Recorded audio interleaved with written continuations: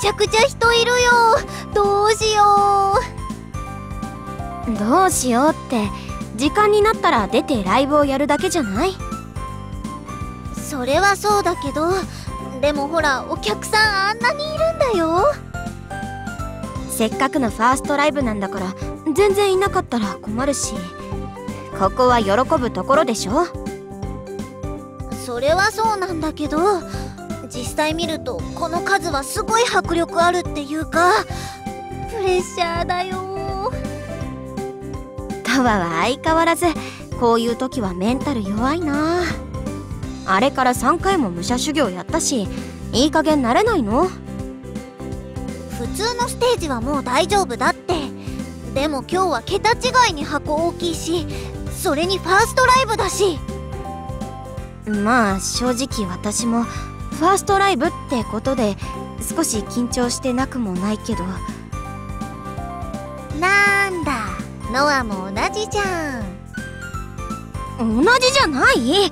レベルが全然違うから。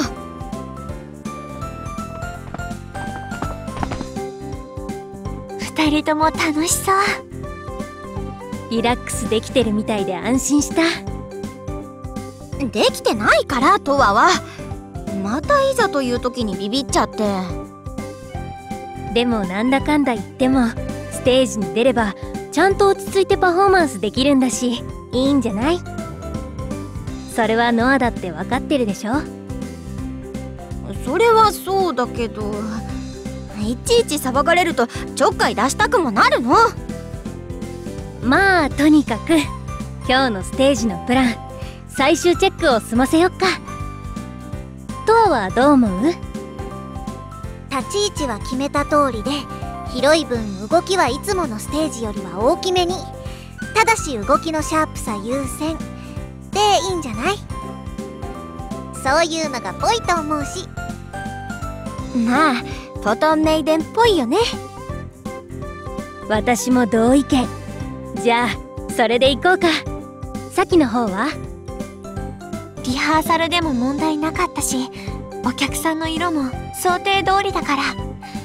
最初に決めたセットリストのまま行くつもり。状況によってエフェクトのかけ方を少し変えるかもしれないけどそれくらい。オッケー。ならリハと同じだね。じゃああとはもう開演時間を待つだけか。もうすぐこの会場いっぱいに私たちの宇宙が広がるんだね。うん。あの日感じた宇宙が満員のお客さんたちを巻き込んでより大きく美しくなんか今から見えるような気がする。私も。開演直前だというのに随分と落ち着いてるな。結構なことだ。来てたんですねプロデューサー。記念すべきファーストライブだからね。とはいえもちろんこれはゴールではない。大事な一歩ではあるけれど先へ進むための通過点でしかない。君たちには次も待っているからな。次？何かあるの？かしてセカンドライブ？まだファーストも始まっていないのにそれはないでしょう。ちょっと気になりますがでもまずは目の前のファーストライブに集中しましょう。姫神プロデューサーその話はライブが終わった後に聞かせてもらいます。そうだな。この話はファーストライブを成功させたご褒美ということにしようご褒美というからにはいいことなんだよね。ああ期待してもらって構わない。楽しみ。一段と気合入ってきた。じゃあ行こうか。そろそろ開演だ。ではプロデューサーまたライブの後で。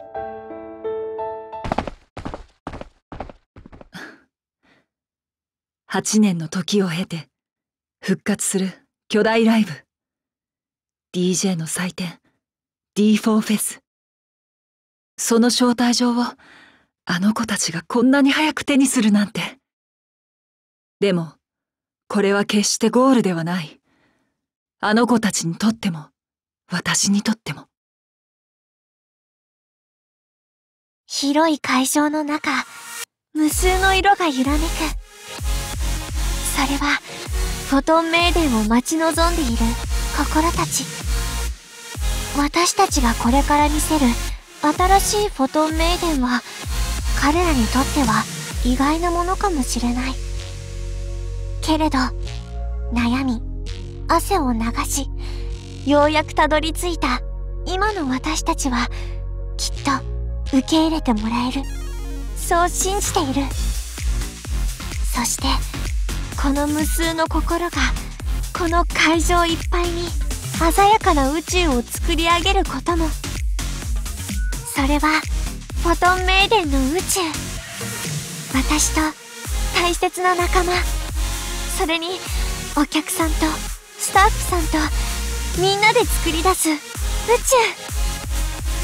私も私たちの宇宙を感じながら踊るよ。さきちゃんと一緒にね。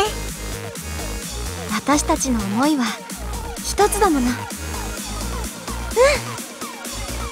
今日のライブもきっと忘れられないステージになる。